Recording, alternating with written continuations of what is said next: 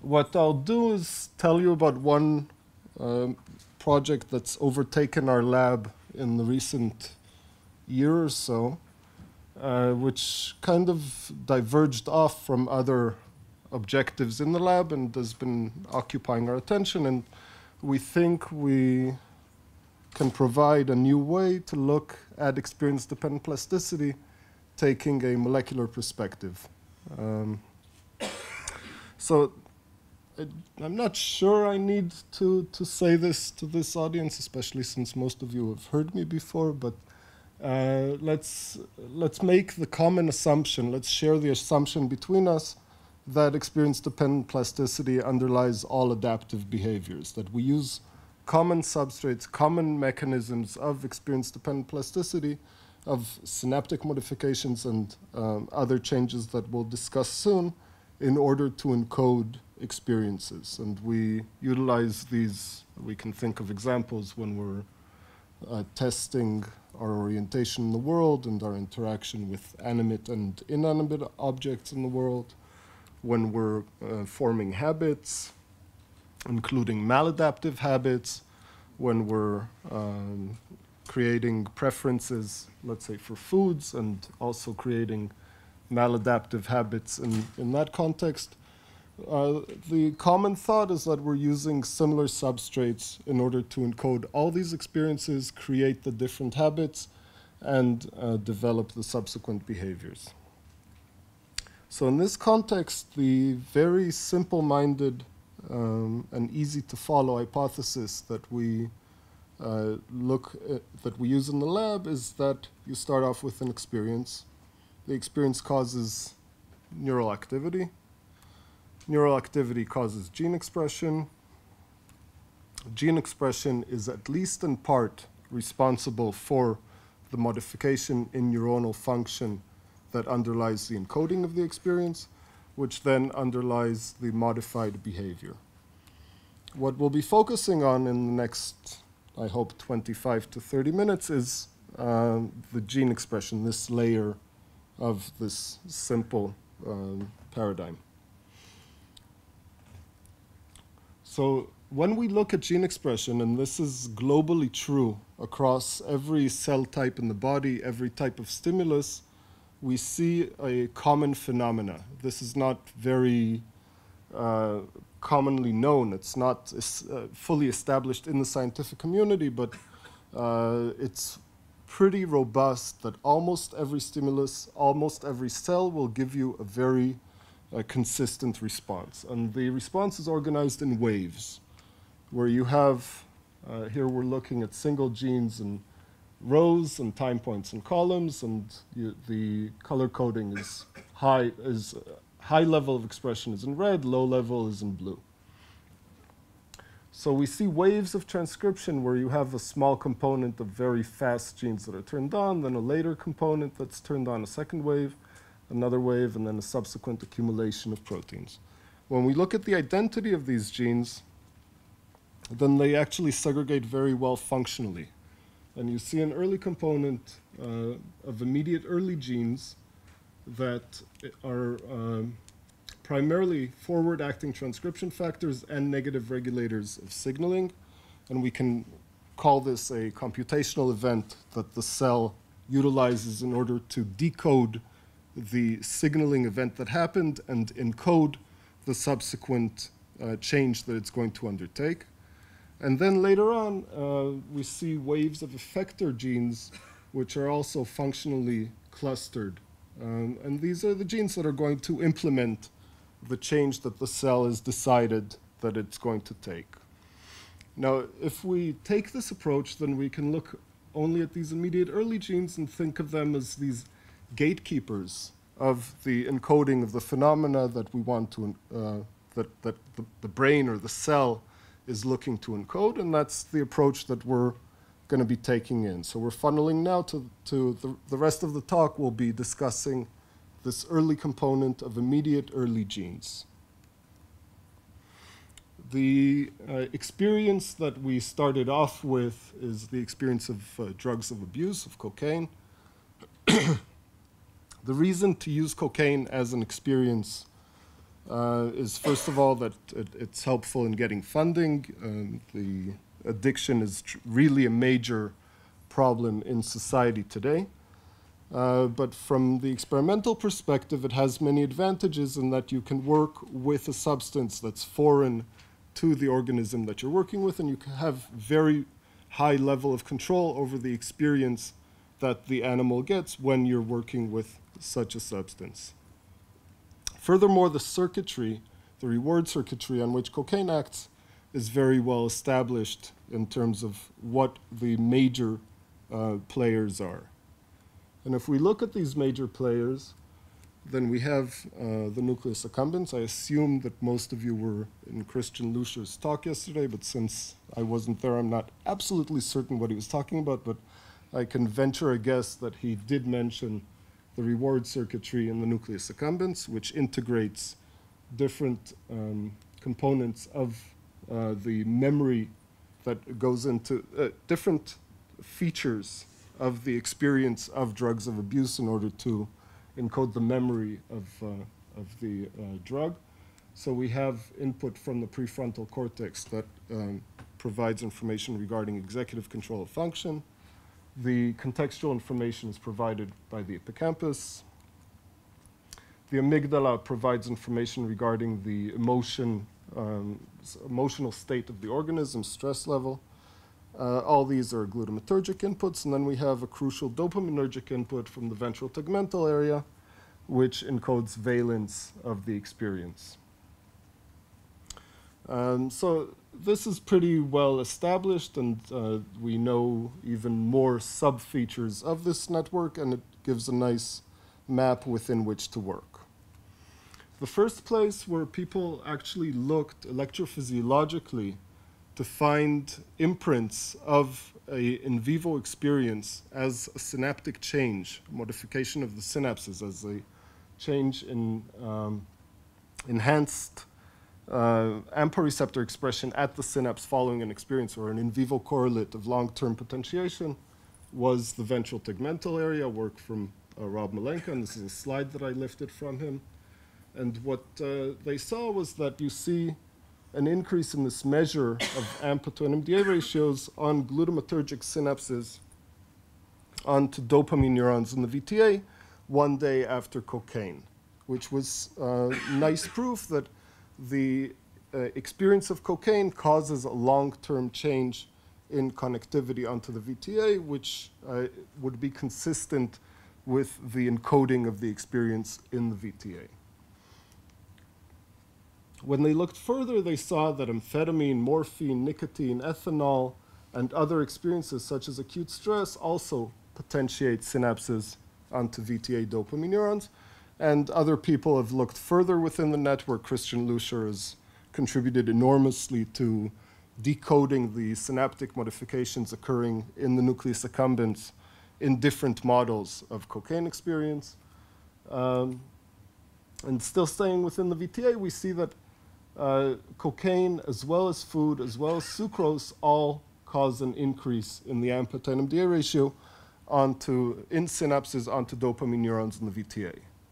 So what you see here is a unidimensional parameter which encodes an experience, but there's no, we cannot differentiate between these different experiences. From our experimental perspective, they look identical. You have no way of knowing what the animal actually went through.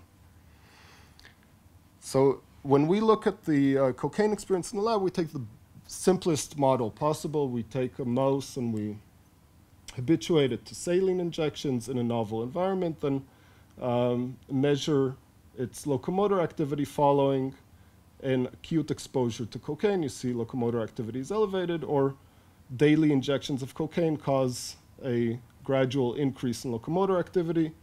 Um, and then we can take the mouse, put it back in its home cage, and come back a few weeks later and test its memory of the experience of the drug. And you can see that um, it responds not only to the same level that it had achieved following chronic cocaine exposure, but actually the locomotor activity is even elevated further, uh, demonstrating an incubation of the response. It's something that's well characterized in this system. But Uh, what I want you to take from this is that this is a very simple behavioral measure to look at the memory in the system uh, that's encoded by the experience of the drug. Now, from uh, taking the molecular perspective and looking at transcriptional uh, dynamics, what we do is we look following in, in within each one of these time points, the acute exposure, chronic exposure, or the uh, re-exposure in a previously experienced mouse, and open up a time window within which we study the transcriptional dynamics.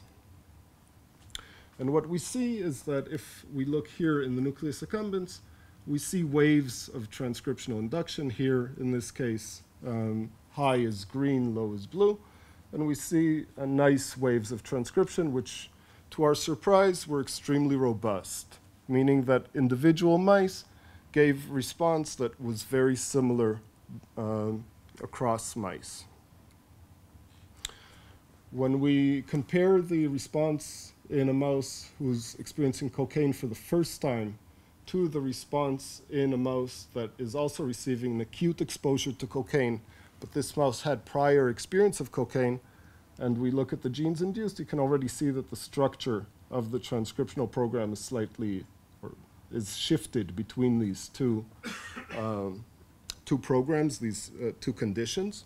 When we look at the identity of the genes, then you can see that uh, when you look at genes that are induced following an acute cocaine experience, within the data set of the challenge, you see that these genes aren't shared between them. And again, when you look at genes that are induced in an experienced mouse, you look back in the naive mouse and you see that these genes are not induced. So there's a very dramatic rewiring of the transcriptional program that occurs following the exposure, uh, following the experience of, the, of cocaine. This is a, a, a topic of major interest for us in the lab but I'm not going to discuss this further. Now I'm going to go off on the tangent which has been occupying us for the past year or so. And in this tangent, what we uh, focused on were these immediate early genes. And we compared the acute response to either an additional ex uh, experience of saline or that of cocaine, which causes this nice elevation in locomotor activity, to the response to cocaine in a previously experienced mouse, or an interesting time point, which is uh, you re-expose the mouse to the same environment, same handling of the investigator, just instead of cocaine, you give it saline. So it, uh, you see a representation of its expectation to receive cocaine in this condition. This in, it's an internal representation. In these mice, what we did is uh, try to maximize the uh, number of structures that we're looking at, maximize the information content per mouse. So we started off by profiling uh, accumbens, striatum, and prefrontal cortex, and then gradually added on additional structures like the hippocampus, the lateral hypothalamus, the amygdala, and most recently the ventral tegmental area, which is the most challenging. Looking in the nucleus accumbens, and now every column is an individual mouse, and here we have uh, a few tens of genes. Um, what we saw is that a very small number of immediate early genes is actually induced by the experience of cocaine within the accumbens, but once they're induced, they're very consistently induced. So the response is very robust and uh, very reliable between across mice. So we have a readout that um, is extremely consistent for the response of a mouse to a particular experience.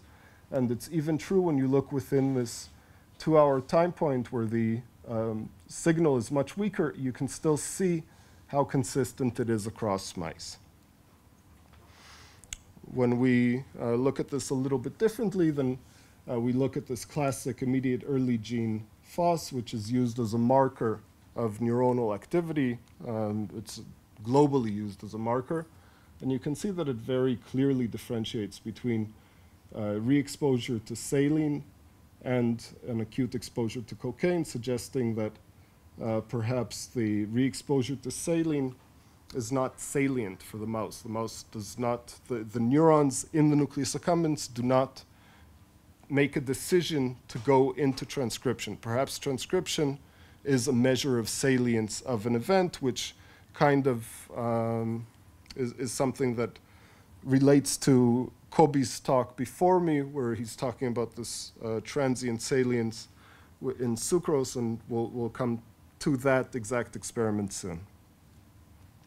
When we look at another gene, EGR2, which has not been characterized in the system, then we see also very pronounced induction um, following acute cocaine. And here you can see the individual responses, so you can get the impression of how uh, robust it is per individual mouse. When we look now within um, mice that again receive an acute exposure to cocaine, but the difference being that they had prior experience of cocaine, you again see a very small subset of genes being induced, and you can um, see that the induction is shifted versus the genes that are induced following uh, acute cocaine exposure. Again, we're only focusing here on these immediate early genes that we know there's a chance that they'll be induced at these time points. And we, now we're starting to see some interesting features. We see that FOS is induced to precisely the same level uh, in these two cocaine experiences, whereas EGR2 is differentially induced. So it's uh, only induced following the acute experience and much more weakly induced in the challenge. And you can very clearly see that these mice can be segregated based on their induction of EGR2. So this suggested to us that maybe we can use transcription as a way in to seeing how experiences are encoded differentially within brain reg regions to which they're relevant. So we went on to try another type of experience, which is that of uh, feeding, since the accumbens is an integrator of many features of food intake, and the experiment is extremely easy to perform in a, in a robust way. And what, so we took the food away from the mouse and then we gave it back to them 24 hours later and we looked at the inductions of genes in, in these mice that were re-exposed to food. And again, what we see is that the induction of FOS is precisely to the same level as it was following these other uh, experiences, the, the, two cocaine experiences that we looked at, whereas the induction of EGR2 is uh, reminiscent of that that you see for the acute cocaine response, but uh, differs in its dynamics. So when now we're starting to accumulate more and more experiences, right now we're up to 15 different discrete behavioral experiences. When we plot these on a three-dimensional plot, either uh, performing principal component analysis or taking individual genes, like in this case, these three genes, and here you only see a subset of the experiences, you, and each dot here is an individual mouse, you can see that the mice segregate beautifully into their groups based on the three-dimensional data obtained from gene expression. So the gene expression can serve as an indicator for the recent experience of the mouse, and here uh, we tested that, so using a machine learning algorithm, we looked whether we can decode the uh, recent experience of the mouse based on gene expression, and uh, right now we're at above 90% uh, prediction accuracy, and this is just becoming better the more experiences we include and the more genes. So basically, we'd like to propose um, this approach of behavioral transcriptomics as another uh, complementary way of looking at the encoding of experiences in the brain. Um, the transcriptional induction is robust, reliable, and highly invariable. It's amazing how little variation you see and how consistent it is between different researchers and uh, seasons and other variables.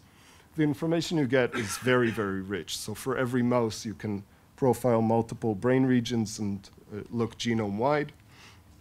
Surprisingly, once the system is established, it's quite inexpensive.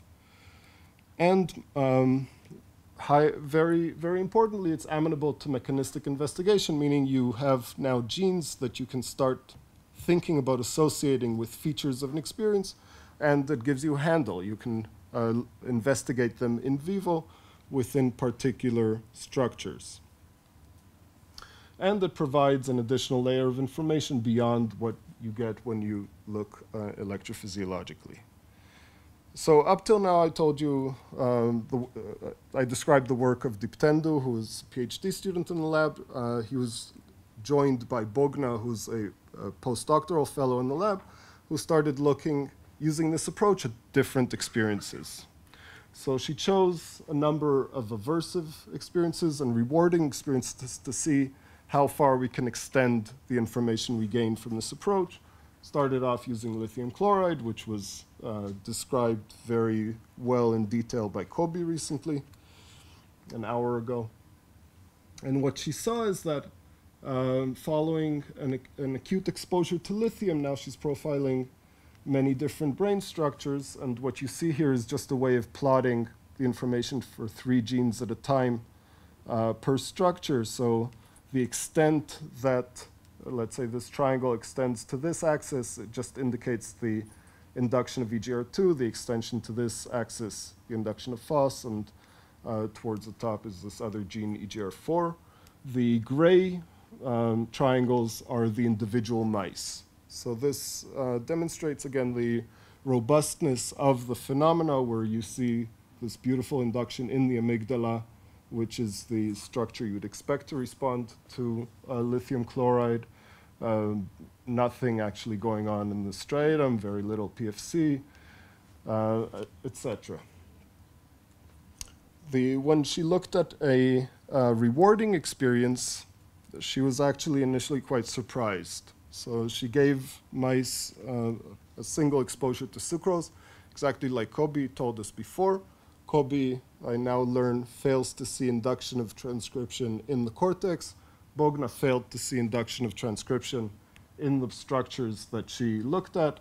So she thought, okay, I'll give the mice um, an additional experience of sucrose before I profile. So she habituated them overnight and uh, to, to the sucrose bottle and then profiled transcription after 20 minutes of exposure to the bottle. And she saw some level of induction, but it she still wasn't satisfied, so she gave them 10 daily exposures to uh, the bottle with sucrose, allowing them to establish a habit of sucrose consumption, and then uh, profiled, and what she saw was very robust induction in the prefrontal cortex and in the dorsal striatum, which again can be consistent with uh, the idea that there's a habit being formed here. When we look at the uh, now, what, so we have data for these large number of different experiences, which we now can compare and contrast and try to see if we get uh, additional features coming up about how experiences are encoded utilizing this approach. When we look within the accumbens following an acute exposure to either cocaine or lithium chloride, you can see that they differ in the profiles induced as they do in the striatum. But surprisingly, uh, prefrontal cortex, you see the exact same uh, induction following either an aversive or a rewarding experience. When you now repeat, you give a repeated exposure and you profile again, you see that actually the accumbens now aligns beautifully well, which uh, I can hand wave and suggest that this might have to do with a reward prediction where the mouse actually has an expectation for a certain type of experience, and when that expectation is met, this is the profile that you might see. Obviously, this is something that uh, will need to be tested and is quite tricky to test. Uh, in the striatum, you see highly differential expression, which for cocaine is very consistent with the literature, where um, it's thought that there, there's a model for the spiral of addiction where uh, the information is exported from the uh, accumbens to the striatum uh, during the formation of the habit, and we see this very strong induction there. And um, also in the prefrontal cortex, we see a segregation in the way the mouse responds either to an aversive or rewarding experience when the experience is an expected one.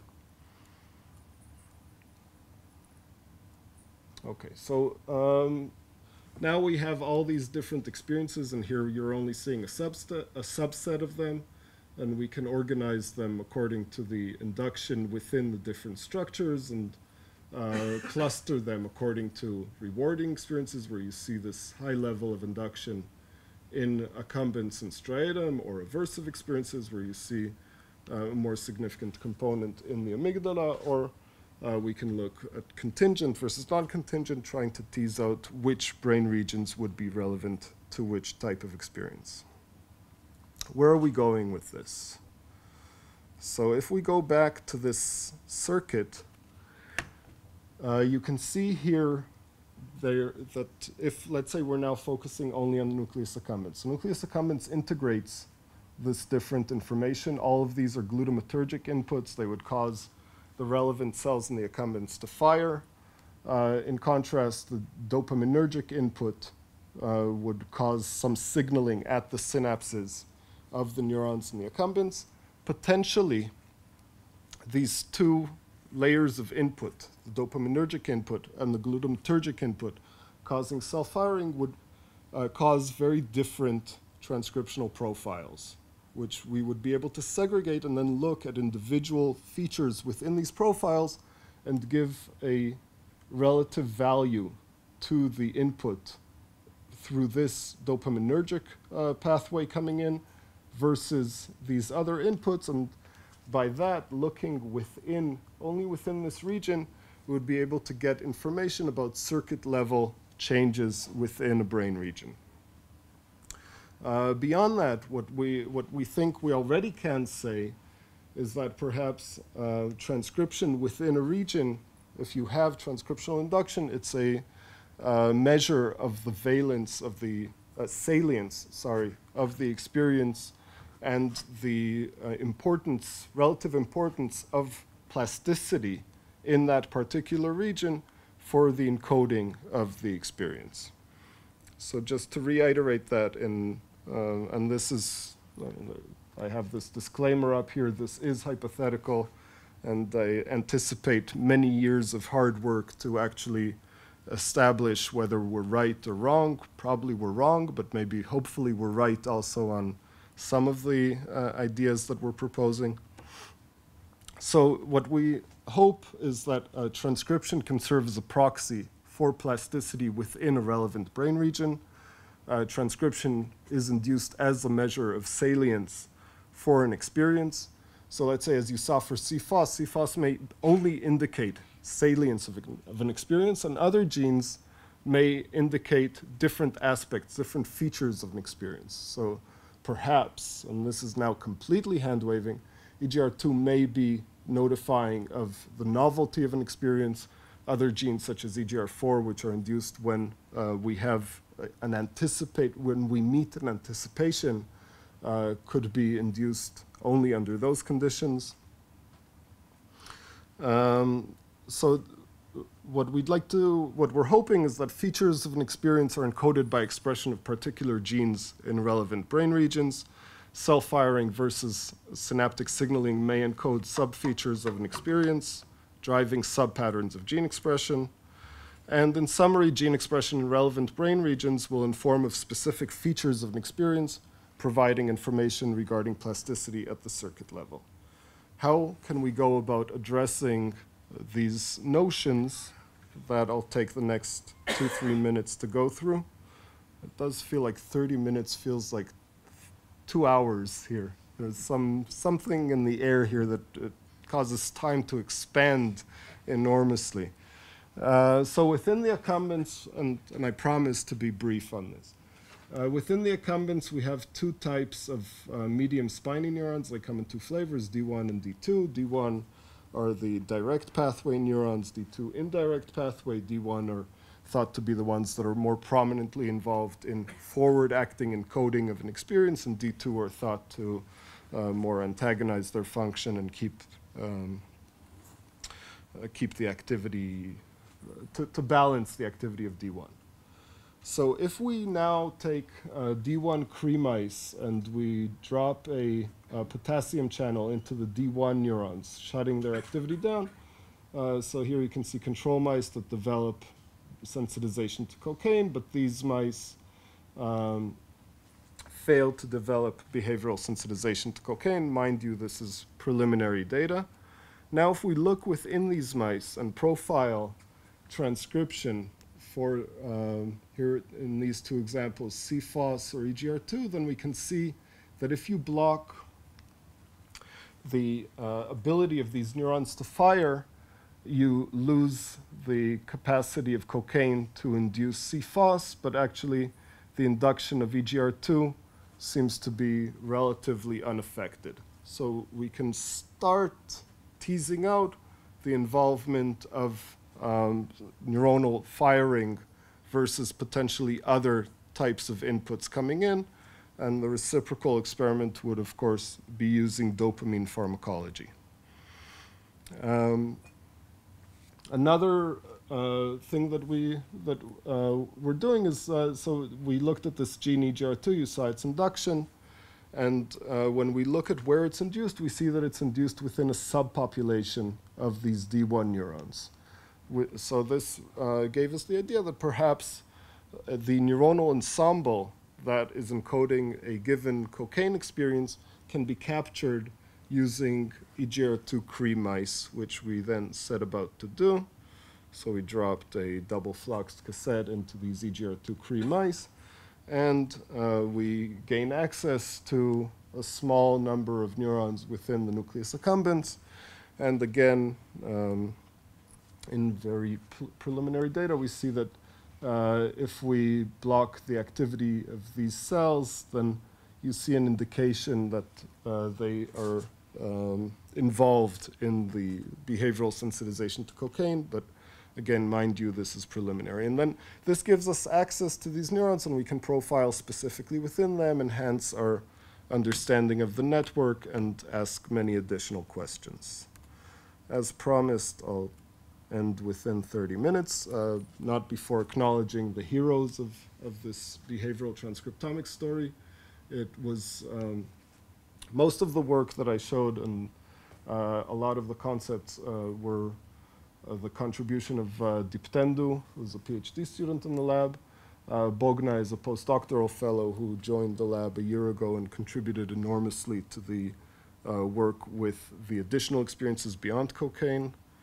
They were heavily assisted by other members of our molecular team in the lab, uh, Chagit Turm, the lab manager, Liz Isaacson, a master's student, Doron Haritan, and, and Bleisten undergraduate students, and uh, Ben, a new PhD student in the lab.